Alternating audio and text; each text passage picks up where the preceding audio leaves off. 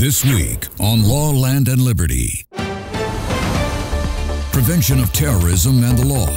Joining the discussion, President's Counsel U.R. De Silva.